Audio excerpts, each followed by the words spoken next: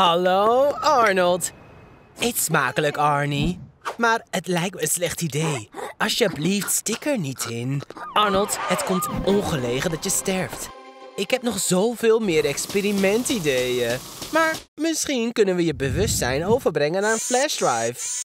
Ik vraag me af hoeveel gigabytes we nodig hebben. Het is moeilijk te geloven, maar Arnold's hersenen hebben een enorme geheugendichtheid. Zijn capaciteit is 2,5 miljoen abstracte gigabytes. Hiervoor hebben we 2500 harde schijven nodig met elke volume van 1 terabyte. Abonneer je en klik op Vind ik leuk voor meer interessante feiten. Maak je geen zorgen, Arnie. Binnenkort ben je een cyborg. Half robot, half mens. Dan zul je nergens meer bang voor zijn. Iedereen zal bang zijn voor jou. Hasta la vista, baby. Een groot deel van de hersenen wordt in beslag genomen door verschillende levensprocessen.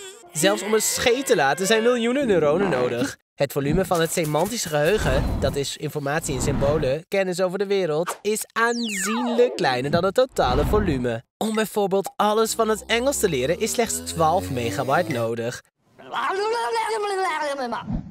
Geen zorgen, Arnold. Het is ons gelukt om alle gegevens uit je hersenen over te zetten. Hoewel, het bleek niet echt zoveel te zijn. Alles past op één flashdrive. Ik heb zelfs een paar nieuwe functies geïnstalleerd.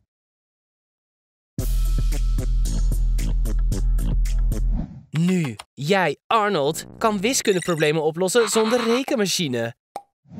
Het precieze werkgeheugen van de hersenen kan 5 tot 9 cijfers tegelijk bevatten. Dat zijn maar ongeveer 40 bits of 5 bytes.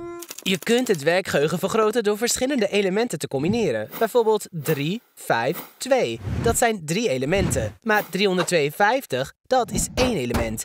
Arnold, je kunt je gewone leven weer oppakken. En nu hoef je je geen zorgen meer te maken over buikpijn door het eten van te veel pizza. Er zijn nu echter een paar kleine problemen, vriend. Toby herkent je niet.